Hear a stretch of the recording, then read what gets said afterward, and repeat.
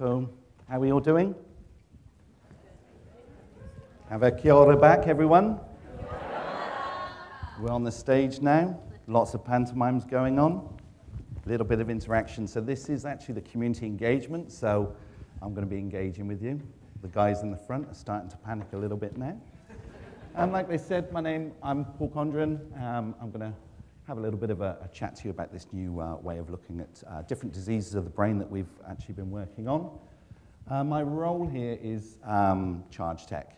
It's probably one of the coolest uh, roles within Matai. It means that I get to do some clinical work, so someone injures themselves, you come in, you get scanned, Dr. Dan reports it, goes back to the orthopedic surgeon, we get you sorted, and away you go. I also get to play with a lot of the cool kids, the research team, in developing these new ways. Um, and the other part of my job that I really love is the community engagement, that we go, we meet the community, um, and we have some, some kai, some fun, and we work on the problems that we see in Tairāwhiti. So we're going to walk through it together. We're going to hold hands. I'm going to introduce you to some new terms. We're going to take it nice and slow. Um, outside of Matai, there's probably a handful of people in the world that actually understands what we're doing here. So everyone in this room is going to know more than um, neuroradiologists sat on the other side of the world. So what we're doing then is targeted MR. We call it targeted MR because we're targeting specific tissues.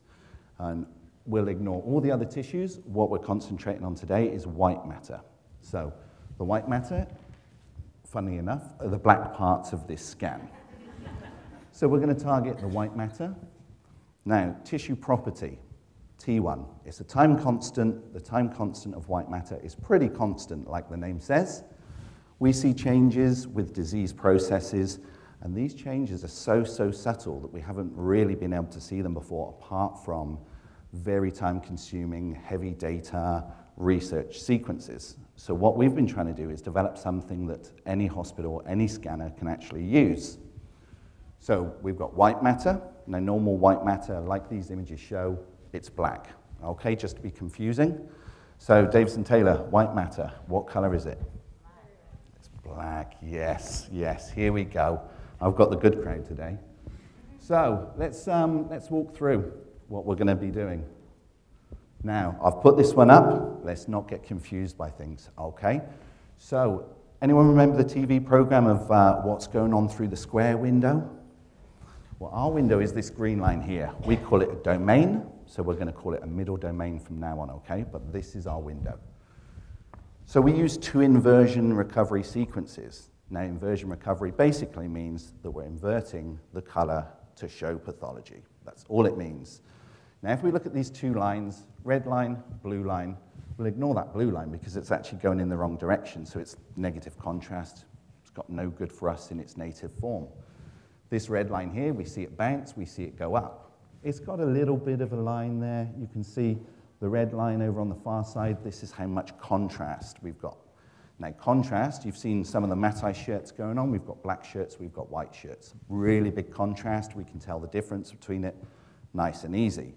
Now, if we had black shirts and a slight grey shirt, we might not see the difference. So, contrast is that difference. Enhance the contrast, see the pathology. Same as you know, you go diving for some crayfish, murky water, you might not see anything clean water. I'm getting that bad one there. That's mine. We're eating cray tonight. So we're looking at this arrow, and we see this black line. When we provide a mathematical framework to this, we see a massive steep line, and if we look over the other side, we've probably got seven, eight, nine, ten times the amount of contrast. It Means our water's a lot clearer. We're going to see those crays. We're going to see those kingfishers if we're going to go spearing as well. So let's get into it. This is a T2 FLAIR.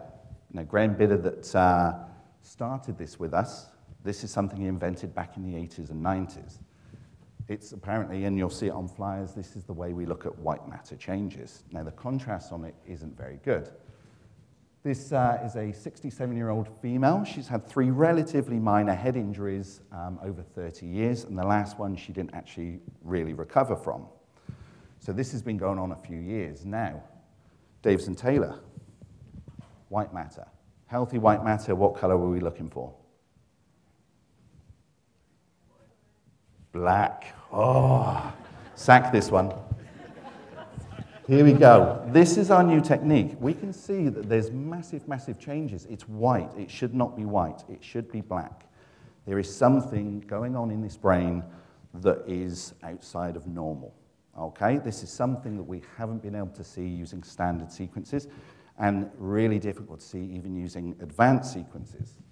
So we've got it going on. We, we're seeing some form of pathology. So we have an amazing community. So what we did is we phoned Davison. It's like, okay, we need a 67-year-old female to come into the scanner. An hour later, there's a 67-year-old female. I like using this as a normal case because there is some bits of pathology going in there, and that is what you expect to see as we start to age. So we look at this one. The white matter is black. Okay, black. Remember that one, Davison? It's black. Now, let's put uh, our case back up. It's white. They are night and day, completely different. Uh, Stevie Wonder can see that that is not right compared to this one. Okay? So this is concussion. Concussion, you're probably better off having a big head injury because ACC can see those big changes. It's these small ones that are the problem.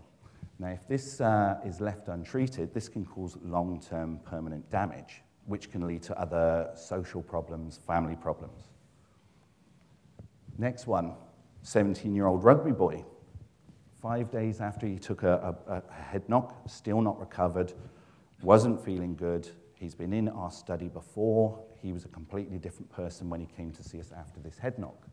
So again, it's essentially normal. We're not seeing any real change within the white matter. There's some random little bits going on, but you're not going to put your finger on anything to say, well, this is really wrong. Technology again, is this one normal? No, because it's white. It should be black. We've tried everything to make it black. It's just the pathology there that we're seeing. This one I like to use as my control case. He received a stand down notification. He took a head injury in the same game for the same team, scanned at the same time, came to us. He was like, that was fine. I got on the bus, came back down to Gisborne, had some tea, went to bed, woke up, no problems at all. Let's put the other one back in again. Completely different, night and day. So, black is good, white is bad. Okay? We're going even younger now because a lot of these changes, they say, oh, that's age related change. Well, it's not because we've seen it in 17 year old. Now we're seeing it in a 14 year old. Okay, so 14 year old took a head injury nine months previous, has struggled, really, really struggled with concentration. Um, so we thought, well, let's pop them in the scanner, put them in the answer machine. And again, whiteout, night and day. So we phone uh, Davison. We need a 14 year old. Davison says, Whatever you do in your own time is your own business. Don't get me involved in it. No, not like that. So he gets us a 14 year old in. He actually got us two 14 year olds in, which was fantastic. Um, so let's have a look at the normal. It's black. Okay, so this is someone that hasn't taken a head injury. It's black. It's beautiful. That's what we want. We'll put the other one back on. It's white. It's completely different. It's not even a, maybe there's something going on in there. There is something quite severe going on in there. And these are minute changes. This case I love showing because we couldn't get the rugby boy back in to show his recovery. But what we do have is we applied it to our methamphetamine study. 50 year old with methamphetamine. Now, this is about two weeks, maybe four weeks into his abstinence. And we see complete whiteout, just a tiny, tiny, um, well, tiny, tiny slither of normal here and here. Now let's have a look when we scanned him eight months later. It's coming back. So we're seeing changes, but we're seeing recovery as well, which is amazing.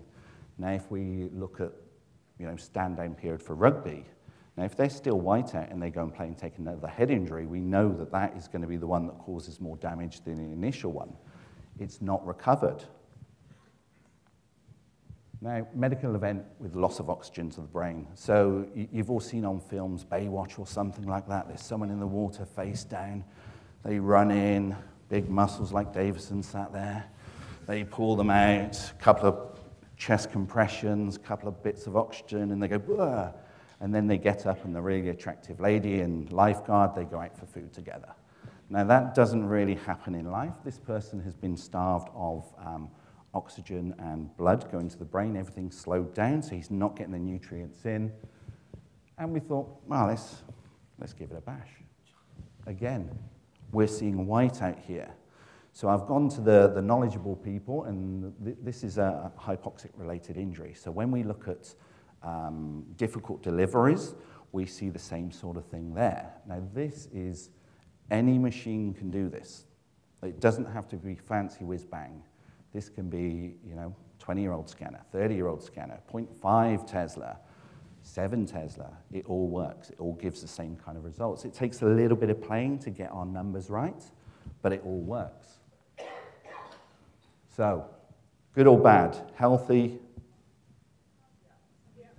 there we go. They're my people there. Well done. Learn from them, Davison. Learn from them. Okay. Healthy, not healthy. Not healthy. That's, uh, it, it, it's not good. It's not a good uh, situation to be in. This one and is a bit stretched, I'm afraid.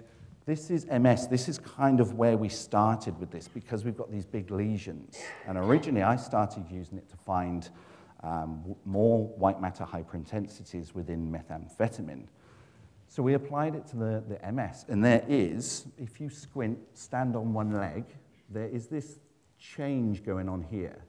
So we're talking about the black shirt and the slightly different color black shirt. It's there. Now you need people like, uh, oh, there he is, David Dubowitz just there. We need people like him. We need his wife Miriam or, or Dr. Dan to actually see this because it's, it's pretty hard to see. When we apply our technology, bang, we're seeing full borders of this thing. It's there. There's, there's no, is it there? Isn't it there? Now, I have this thing when I do um, presentations. I, uh, and, and I'll just do it straight away. Uh, Dr. Dan Cornfeld, real nerd, uh, he actually programmed this in MATLAB. So he's part radiologist, part physicist, and part programmer, and he's programmed this for us. So he's now moving that direction of you, you have to know what tissue you're looking at, what pathology you're looking at, and then scan to that. So what he's now working on is we scan wide, and then we synthesize all of these different domains to look at different pathologies. So that's the forward direction that we're taking with this one. And I will leave it there, um, otherwise I'll just keep talking. Um, but I would like to thank our friends of Matai Blue Sky Fund. So these are people that have donated to us with no specific kind of, we're going to donate to this. This is what we use um, the people of Tairāwhiti's um, donations for, is for de developing things like this. We could not do it without the people of Tairāwhiti. They come in, they jump on our scanner, they are, you know, with, without question, the best people in the world. You know, they come and do the business for us. Uh, all families, because we kind of neglect our families a little bit in research. Um, you know, we work long, hard hours and they kind of accept that. I think my wife prefers it that I'm not home most of the time anyway. So it kind of works for us. Um, and Tuta, we're going to hear, hear about Tuta, but um, he, he did a lot within this community. Uh, his legacy still goes on to do that. Um, he was a a teacher for us, a student for us, an inspiration for us, um, and more than that, he was, he was our friend, um, and we will continue this, this work. But he has provided a, a definite spark for the future generations of, uh, well, I can do that too, and that's what we want. And there's some young people in the room, and maybe in 10 years' time, they're going to be up here telling us what's what. Um, but thank you very much, um, and enjoy the rest of the, the few days.